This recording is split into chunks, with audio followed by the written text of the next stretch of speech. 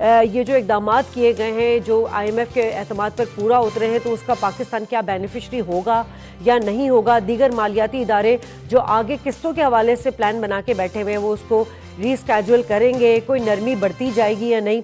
और क्या जो हुकूमत ने इकदाम लिए हैं वो का, काफ़ी हैं? क्योंकि इस वक्त हमने देखा है कि गैस की प्राइजेस जो है वो काफ़ी बढ़ गई हैं। 173 परसेंट बढ़ी है।